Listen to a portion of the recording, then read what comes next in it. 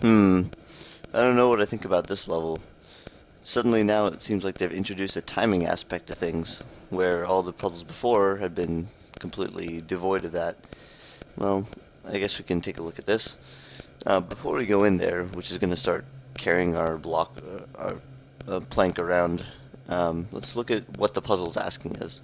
So we need to cut out the top portion of uh, the paddle and, and the bottom portion make it kind of this H shape. Uh, if you look around, you'll see that there's no way to turn on a corner, which means ordinarily it would be impossible to, to get both orientations of the paddle onto the little red dot in order to cut it. Instead, we're going to end up using this resonator to help us.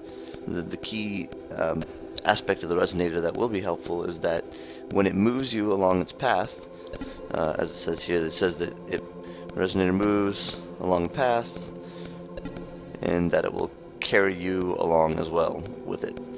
Um, but the key aspect is that when it moves you, it doesn't change your own orientation.